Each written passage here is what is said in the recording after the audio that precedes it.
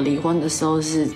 七夕情人节，办完手续之后，我们还一起去吃牛肉面，去吃永康街牛肉面，还一起去买面包。哎，其实对妈妈来讲是一件好事。曾出演麻辣鲜师的范小范，在二零一一年嫁给广告公司老板定居泰国，今年老公却多次爆出花边新闻等一连串事件，频传婚姻亮红灯。而他二日也透过脸书直播，首度认证两人已经离婚了。有一个人问到一个非常敏感问题：离婚多久了？我只能跟你们讲一件非常有趣的事情，我离婚的时候是七夕情人节的时候，而且还是我挑的，而且我不知道那一天。不知道那天是我不知道那天情人节，然后我还指着孩子的爸说：“哎，你怎么那么会挑日子啊？居然挑这一天。”然后他就缓缓的回头跟我讲说：“这一天是你挑的。”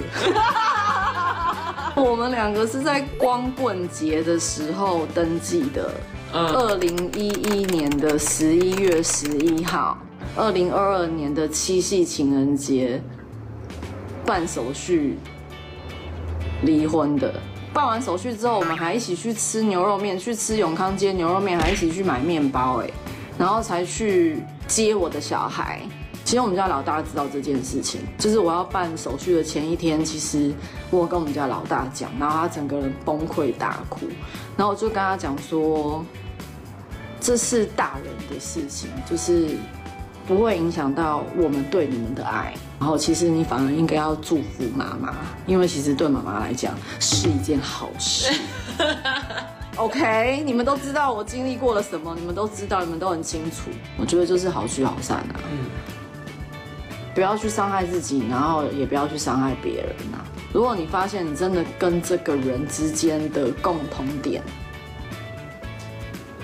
已经无法再磨合下去的话，我觉得还不如早点收手吧，就是不要再浪费时间了。哎，我第一次讲到这件事，哎，算是第一次公开，因为其实我也不是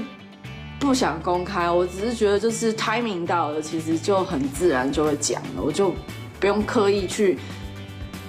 写一篇就是哦，我已经离婚的这件事情，所以我现在就是一个很快乐的单亲妈妈，嗯，然后再把自己的一些心理状态调整好。其实我自己有在打算，就是如果我要回去拍戏的话，我应该要让自己在状态再更好一点，然后回去的话，那个自信度才会出来，嗯。